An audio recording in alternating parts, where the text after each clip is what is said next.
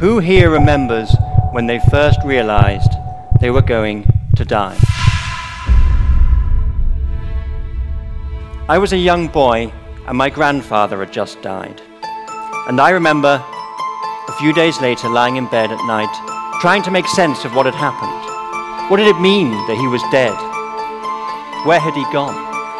It was like a hole in reality had opened up and swallowed him. But then the really shocking question occurred to me if he could die, could it happen to me too? Usually comes in stages. Our idea of death develops as we grow older. That sense that behind all of this, the void is waiting. And this development in childhood reflects the development of our species. Just as there was a point in your development as a child when your sense of self and of time became sophisticated enough for you to realize you were mortal. We have to live in the knowledge that the worst thing that can possibly happen one day surely will. The end of all our projects, our hopes, our dreams, of our individual world. We each live in the shadow of a personal apocalypse.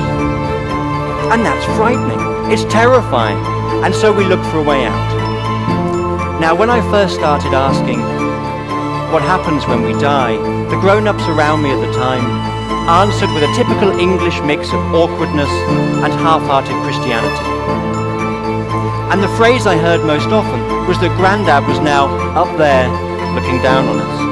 And if I should die too, which wouldn't happen of course, then I too would go up there. And this thought process that I went through as a child, and have been through many times since, including as a grown-up, is the product of what psychologists call a bias. Now, a bias is a way in which we systematically get things wrong. Ways in which we miscalculate, misjudge, distort reality, or see what we want to see.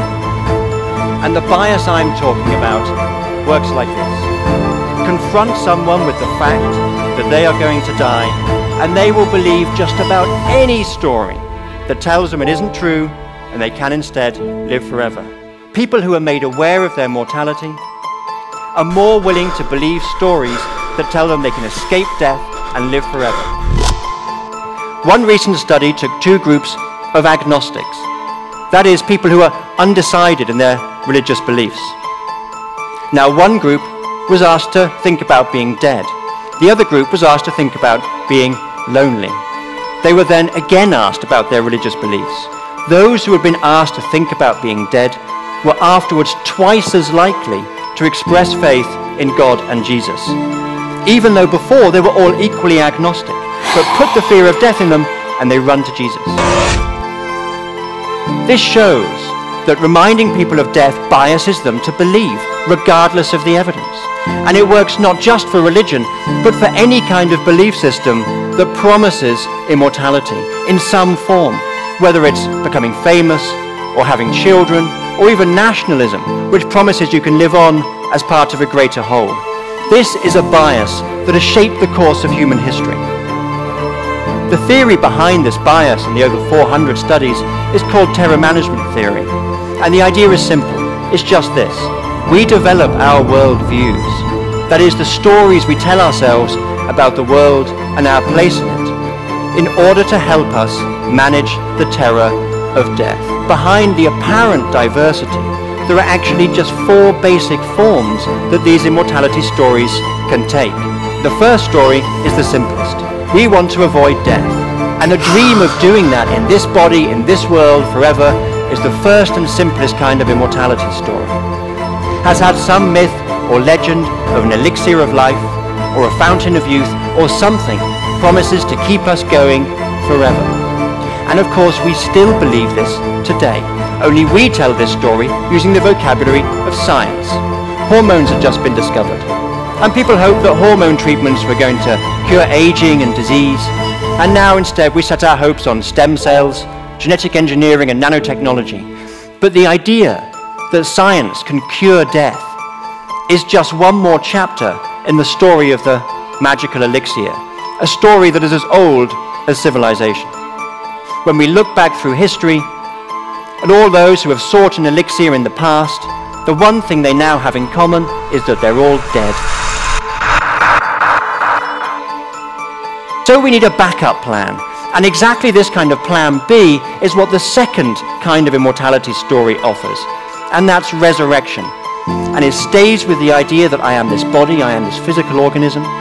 It accepts that I'm going to have to die, but says, despite that, I can rise up and I can live again. In other words, I can do what Jesus did. Jesus died, he was three days in the tomb, then he rose up and lived again. Our desire to believe this story is so deeply embedded that we are reinventing it again with the idea of cryonics. That's the idea that when you die, you can have yourself frozen. And then at some point, when technology is advanced enough, you can be thawed out and repaired and revived and so resurrected. So some people believe an omnipotent God will resurrect them to live again, and other people believe an omnipotent scientist will do. But for others, the whole idea of resurrection, of climbing out of the grave, is just too much like a bad zombie movie. They find the body too messy, too unreliable to guarantee eternal life. And so they set their hopes on the third, more spiritual immortality story, the idea that we can leave our body behind and live on as a soul. Now, the majority of people on earth believe they have a soul, and the idea is central to many religions. But even though in its current form, and its traditional form, the idea of the soul is still hugely popular, nonetheless we are again reinventing it for the digital age. For example, with the idea that you can leave your body behind by uploading your mind, your essence, the real you, onto a computer, and so live on as an avatar in the ether. But of course, there are skeptics who say if we look at the evidence of science, particularly neuroscience, it suggests that your mind, your essence, the real you, is very much dependent on a particular part of your body, that is your brain. And such skeptics can find comfort in the fourth kind of immortality story, and that is legacy. The idea that you can live on through the echo you leave in the world, like the great Greek warrior Achilles, who sacrificed his life fighting at Troy so that he might win immortal fame. And the pursuit of fame is as widespread and popular now as it ever was.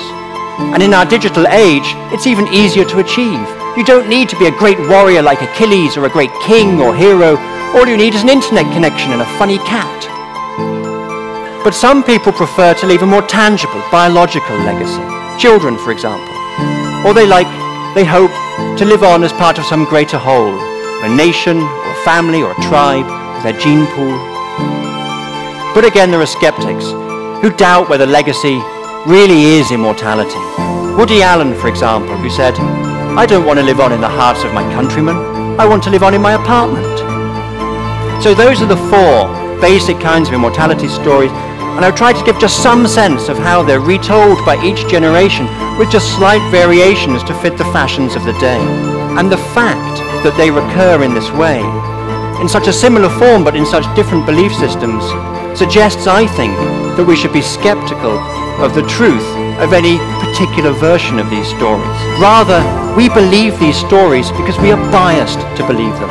And we are biased to believe them because we are so afraid of death. So the question is, are we doomed to lead the one lives we have in a way that is shaped by fear and denial? Or can we overcome this bias? Well, the Greek philosopher Epicurus thought we could. He argued that the fear of death is natural, but it is not rational. Death, he said, is nothing to us.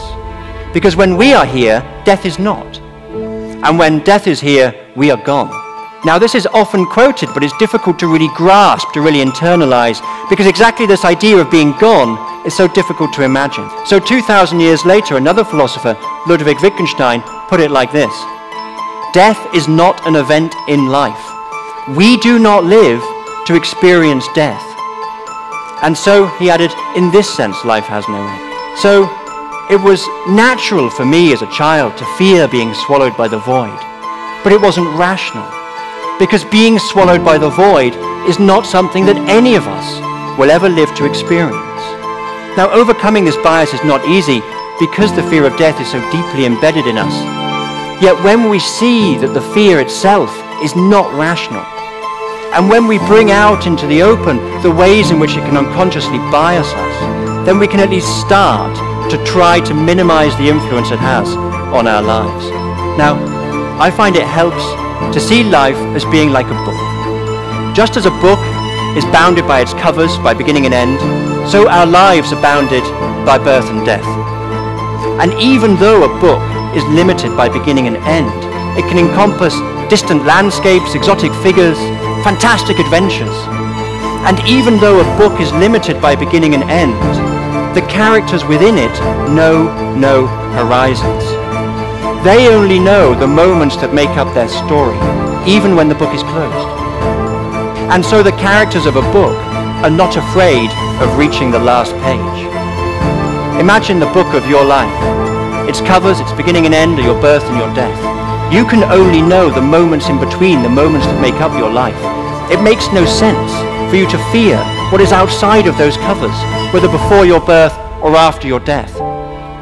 And you needn't worry how long the book is, or whether it's a comic strip or an epic. The only thing that matters is that you make it a good story.